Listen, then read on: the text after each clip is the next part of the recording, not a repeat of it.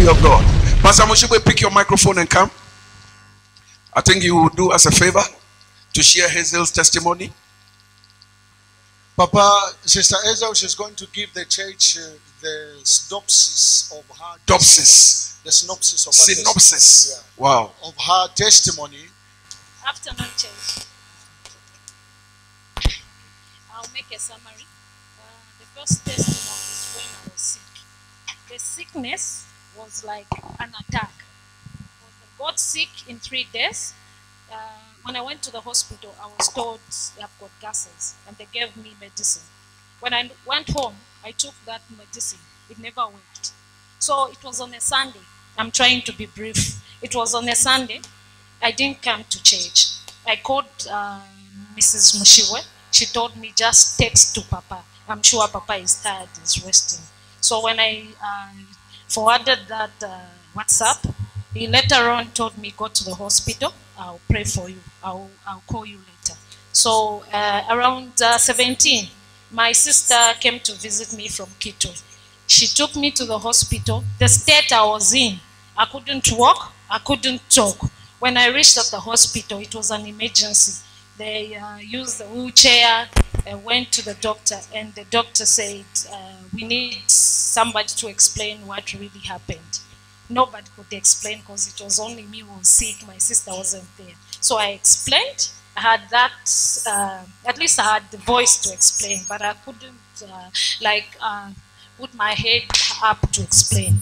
I was looking down when I was explaining. So when I explained, uh, they told the uh, nurses to bring blood and uh, some drip.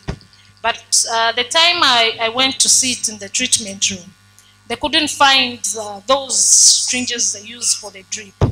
So uh, suddenly, when I was seated there, I felt something entered on my head. So immediately, I could, I looked at my hands. I could see blood because I was dehydrated. I couldn't see blood. I was gray. So I asked my sister, what am I doing here? So my sister said, how can you say such a thing? You're in the hospital, you're sick. And look, I can see blood. And then when the nurse came, who was trying to put a cannula, I said, why are we even going to put a cannula to put blood? We can't put blood. You have got enough blood. Then I said, what has happened? I said, it's, it's the grace of God.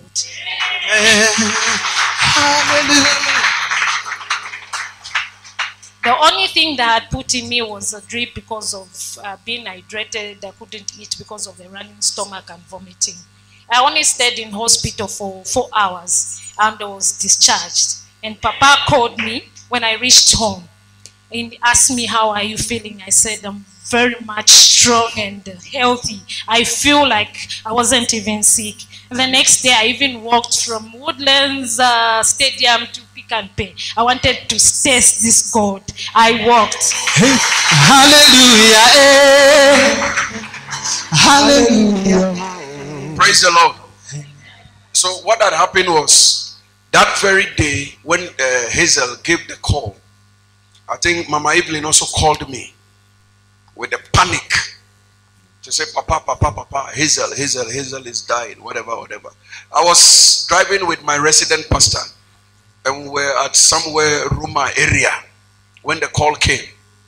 So I told my resident pastor, you see this call that has come is a call of death. That's what I told him. I said, it is a call of death, but Hazel will not die. And how I knew it is the call of death that has come was because prior to that call, I had prophesied to her concerning death. And I said, There's a spirit that killed her father.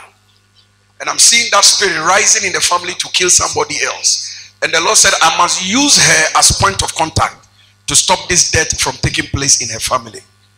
And little did we know that she was the target of that same death. So I don't know if it was Mama Evelyn who texted me her current state. She looked like somebody who was malnourished or somebody who had reached HIV virus. Very, very scary. Very, very, very scary. Sure. And I, I thank I thank God. Kofi, come. Come. I thank God that that day I wasn't alone. I was with my resident pastor. And that is how you will know that you are walking with a man of God who carries the presence of God. Amen. Because right there in the car, as we were driving, I told my resident pastor that she will not die. Amen. And immediately we got to where we didn't even get to where we were going. I picked the phone and I had called her. And she told me that she had been discharged from the hospital. She's okay.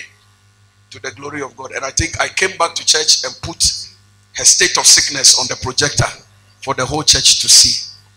In this ministry, we have celebrated our six year anniversary this year. We have not buried any church member. And as you tap into this testimony, may the same God who preserves lives in this church, may the same God preserve your life as well. Amen. I said, may the same God preserve your life as well. Your going out and your coming in is heavily protected. The fact that people do not die in this church does not mean that the devil does not attack. The devil does attack. But the only reason why people are preserved is because we have a covenant with God. And you need to take advantage and praise the name of this God. Hallelujah. Before you continue with the second part of the testimony, Naomi come. So, this my daughter has been in the military for how many years now? She has been a soldier for nine years. Proper soldier. Proper, proper. Soldier that can shoot. As you stand here, you can shoot. Uh, yeah, yeah, yeah, yeah, yeah. it's one of the people that since time immemorial. They've been in the church for how many years? They married in this church. They have their first child in this church. Second one is on the way coming. Anthony, you got to work hard. You got to work hard. Amen. Amen. So she's a soldier. The husband is also a soldier. And yes, in this church. And by the grace of God, she was elevated and promoted to become air hostess or a cabin crew. Which one is the correct one? Both, both are correct. Air hostess and cabin crew. And she only travels with important, important dignitaries of the land of Zambia. Important, like ministers going up. You get what I'm saying? Good. So it so happened that in one of their duties of carrying some of these important dignitaries as the air hostess, they were involved in a accident in the air. Amen. And Sunday before that week, she came to church with a tie. Immediately I took the mic and I said, I thank God for certain people I am seeing today because if not for God, I know certain people will not be alive in the church. Amen. And I told you that you will not understand what I mean. That week, she was involved in a plane crash. As they were landing, all the ties under the plane came off. So, how do you land? And it's not like a car where you begin to step on the brake small, small. It's a plane. Amen.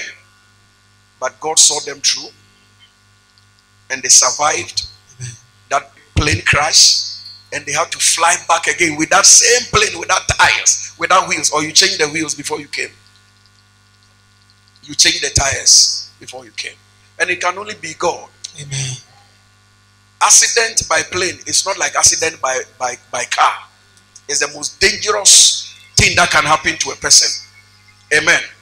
So the fact that my daughter Naomi survived a plane crash with important dignitaries in the land of Zambia is a sign that this church, regardless of our size, we are a force to be reckoned with in the spiritual realm. We are a force to be reckoned with in the spiritual realm. And I want you to jam your hands the loudest to the glory of our God. To the glory of our God. Hallelujah. Hallelujah. Because of security reasons, I cannot tell you who she was traveling with. But I want to tell you that so long as people like this are under this grace, important people that matter in the land of Zambia cannot die like chicken anymore. No, it can't happen. It cannot happen. Hallelujah. So, as God is saving people in the hospitals, God is also saving people in the air. Even though they get involved in plane crash, Amen. God saves them. Amen. We bless God for your life. Amen. I spoke with wisdom, right? I didn't expose you. So it will not come in the newspaper. God bless you, my daughter. God bless you. God bless you. God bless you. Now let's hear the second part of your testimony. The, the second part of the testimony is uh, new job. That new job, I'll be, I won't say much because there's security involved in it. Um, this job, I didn't apply for it. Really? Yes. I don't know, somebody recommended me. They just called me on a Saturday, 21.30, that I should report on Tuesday, the following week, um, to go at um, Arcade, somewhere at Arcade, to do the, the training and the like. Everything, like, the information about me was given to that person. They only asked me if I'm Hazel Lifukamungwa. I said yes. Since you are the one, you have to report. And I reported, and I was told that I am the team leader. I've got people to work with. Um, I'll tell you about it. They even said it on, uh, on the news at 19 hours, I think, on Wednesday. Uh, this involves putting uh, CCTV in the streets of Zambia. You mean the speed, the speed camera? No. It's it's not the speed crime- camera. Crime cameras. Prime Crime. crime cameras. Yes, for security of uh, our Like the one on this road. yes. Like the one on this road. Yes. Okay. The one I did, we are about uh, four groups. The other one we were doing the one you were talking Okay, about. here. The other one is Mumbwa. The other one is Kabwe, and the other one, we, the one I was doing, uh, is along uh, Kafue Road. Kafue Road at Lamis, and it came out the best. The one I did. Wow. Because of this, sagala baby, sagala baby. Ebulu, ebulu, ebulu. Hold it, hold it, hold it.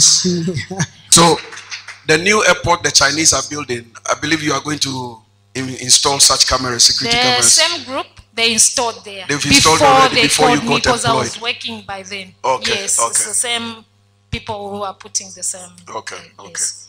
And from the same job, we were a lot of people. Uh, Ten of them were dropped. I was the only person who remained. I because of this. I stretch forth my hands over your life, over your family, and over your career. In the land of the of the dead, there is nothing like working and making money. It is here whilst you are alive. You need to work and make money. And the Bible says in the book of Psalm 1 whatever you touch with your hand Yes. must prosper. Based on this testimony, I release the same anointing over you. Yes. May God connect you to where you are needed. May God connect you to where you will be celebrated. Yes. May your hands bring about prosperity. Uh huh. May the work of your hands Uh-huh. bring about prosperity. Yes. Whatever curse Yes. that follows the works of your hands, Uh-huh. as you tap into this testimony, Oh. we consume it by fire. Amen. Consume it by fire. Amen. Consume it by fire. As she testified that she did not apply Yes. for such an important Uh-huh. job that has to do with the security of the nation. Hey, Chai, chai, such a job. She did not apply for it. Mm. She was forced and given the job without application letter. I don't know how you you this kind of testimony, but I pray Yes. may the same anointing come upon you. Amen. May the same favor come upon you. Amen. May the same grace fall upon you. Amen. In the name of Jesus. Hallelujah. Amen. My daughter, we bless God for you. Amen. It is an honor to have church members like you. I know when you join this church, God has been blessing you. You have been installing CCTV in banks and in companies. And from, from, from, from this altar, God has elevated you to this status Amen. of even installing security cameras. Jam your hands together for the Lord. She did not apply for this testimony. We have we have seen all manner of testimonies in this church. I need somebody who is yet to climb this altar and testify. uh-huh. Can you give me oil? I seal this testimony. Amen. I seal this testimony. Papa, can I say something? Oh, go ahead. Go ahead and say something. It's for you. Uh, since right now, Sorry? since right now you do not have that seed from my heart, I'm Sorry? going to install cameras at your place. In my house? Yes. He has given me the victory. When you are a blessing to people, the blessing will bounce back to you. Amen. Never get tired of doing good to people. Amen. Never, even if they pay you back in return, continue to be a blessing. It got to a point I thought I had lost Hazel as a church member. And there was an occasion I even called her, Why are you not coming to church? And I crossed her in my heart. She's one of these people, after you bless them, they leave you. And then she lost her job. And I stood with her. She lost her job. Without giving me tithe anymore, I stood with her. I will call her, Hazel, don't give up. Come to church. I will pray with her. Today, she's going to install CCTV in my jacuzzi. We can only thank God for having opened doors like this for such daughters and sons. The oil.